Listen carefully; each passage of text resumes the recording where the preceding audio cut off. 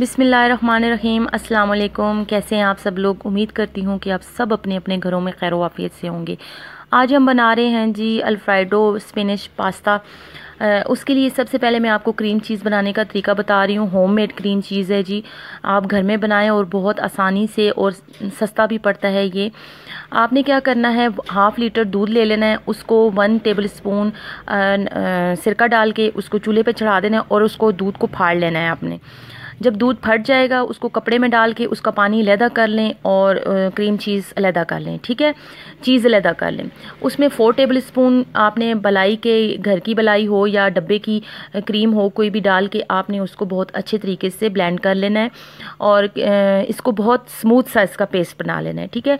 ये देखें, बहुत अच्छा और बहुत स्मूथ सा इसका पेस्ट बन गया और ये क्रीम चीज़ घर में तैयार हो गई है और बहुत आसानी से तैयार हुई है। आप भी क्रीम चीज़ जो है, वो घर में बना बनाएँ। वही टेस्ट आता है, वही जायका आता है। इसमें कोई डिफरेंस नहीं होता। उसमें केमिकल डले होते हैं और इसमें कुछ भी नहीं होता। ये बहुत अच्छी क्रीम चीज़ है। आए, अब हम चलते हैं अपने पास्ता की तरफ़। उसके लिए हम पहले वाइट सॉस बनाते हैं।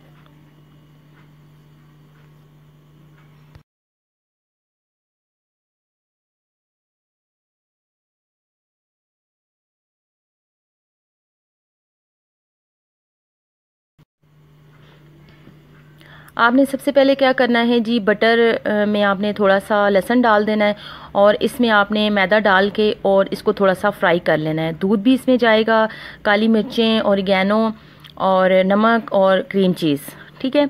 आपने सबसे पहले इसमें डाल देना है बटर बटर में आपने लहसन डालना है और इसको सोते करके और इसमें आपने मैदा डाल देना है। मैदे को थोड़ी देर भून के ज़रा सी इसमें से खुशबू आने लगे, अरोमा इसका अच्छा सा आने लगे।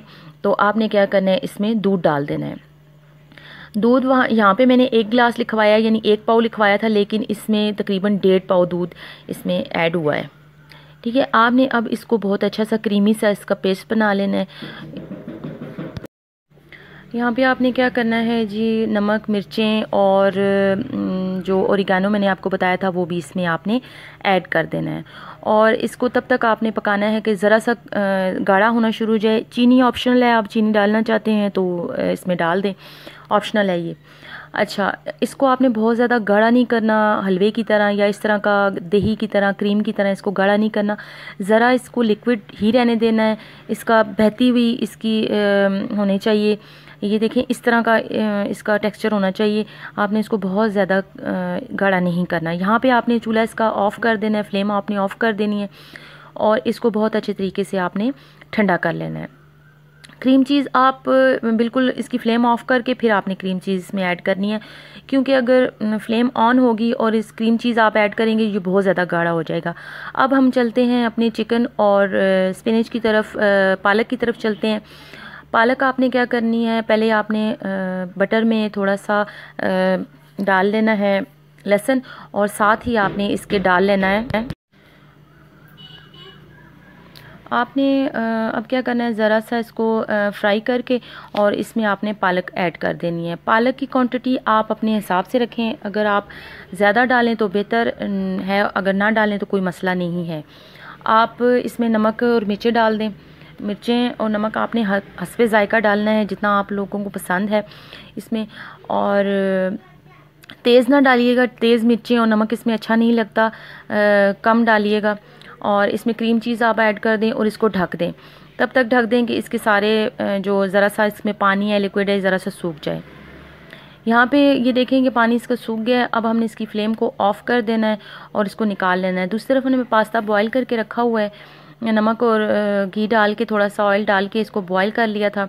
यहाँ पे आपने ये सारा मिक्सचर इसमें ऐड कर देना है और जो आपने वाइट सॉस बनाई है, वो भी इसमें ऐड कर दें। और बहुत क्रीमी सा, बहुत मज़ेदार सा ये पास्ता जो अल्फ्राइडो है, ये बड़े मज़े का होता है, बच्चों को बहुत पसंद आता है। और ये सेहतमंद भी है, घर में सेहत बख्श भी है, घर में तैयार हुआ है। आप भी ज़रूर बनाइएगा और मुझे ज़रूर बताइएगा, ऊपर से औरिगानो डाल दें। थोड़ा सा अगर पासले है तो पासले डाल दें। मेरे पास पासले नहीं था तो मैंने थोड़ा सा धनिया इसके ऊपर डाल दिया था। दुआ में मुझे याद रखिएगा और ज़रूर मुझे बताइएगा कि आपको अल्फ्राइडो पास्ता कैसा लगा है। अल्लाह हाफिज़। बहुत बहुत शुक्रिया।